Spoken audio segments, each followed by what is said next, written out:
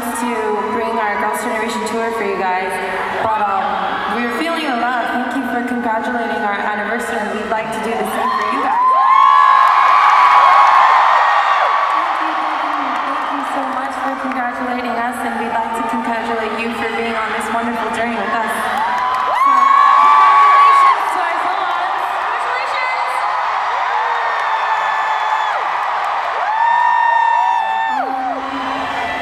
couple songs left for you, but I mean, I'm being spontaneous here because I, I hope we get to come back soon, but I mean, let's enjoy the moment for now.